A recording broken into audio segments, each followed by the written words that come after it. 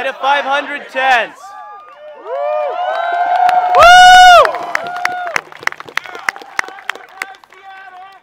Occupy Seattle. I just set up tent last week. The police raided them, The police raided them. arrested some of them, Arrested some of them and took their tents. And so on Thursday, a General Assembly decided to call today International Day of Solidarity. Woo!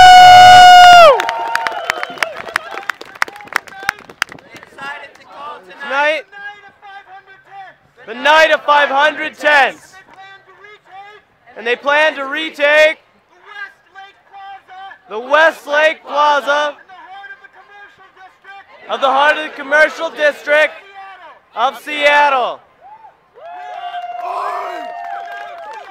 Tonight we are going to stand up against police repression, but we know that we are not alone.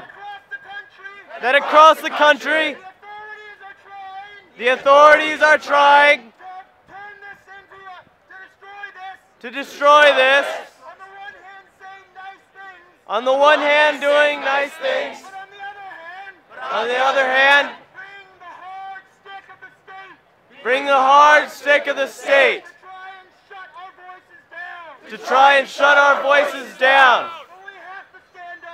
We have to stand up. We have to know we have to know we are not alone, that together we can make our voices heard.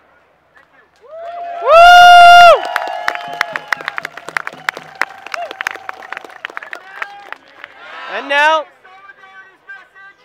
a solidarity message from a sister all the way from Madrid, Spain.